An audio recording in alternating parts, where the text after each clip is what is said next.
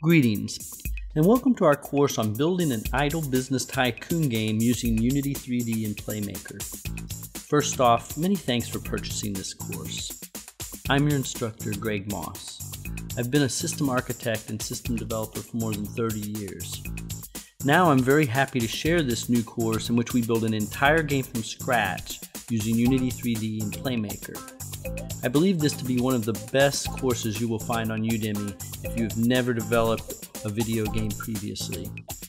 Without writing a single line of code, you will learn how to build a functional working idle business tycoon game while learning important game development principles. Perhaps you have taken a few programming courses before and have started learning C Sharp or maybe Python or another computer language.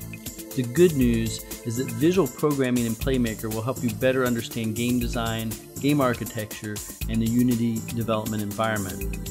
The skills you learn in this course can allow you to begin making games right away and give you the confidence to learn more complex development languages.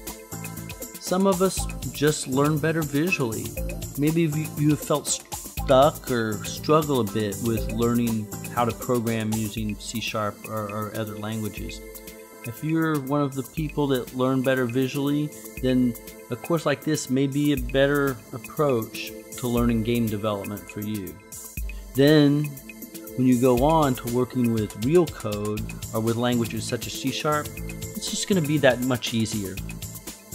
I also believe that using a visual programming tool like Playmaker can have great value for even experienced coders.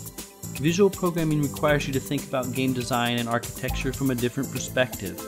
As a professional developer for more than 30 years, I found visual programming to be an enjoyable and welcome break from my more traditional languages. And I have learned dozens of languages, and I still think visual programming has its place. It can be great for prototyping and it allows different approaches to problems. Even better, if you're an experienced developer, you can integrate C Sharp scripts using custom actions that give you the power to extend beyond the visual programming features of Playmaker. The game we make in this course has some of the standard idle features that are found in games like Adventure Capitalist. We start at the very beginning of the project, so even if you've never made a game before, you can follow along with this course. You get to see everything every step of the way.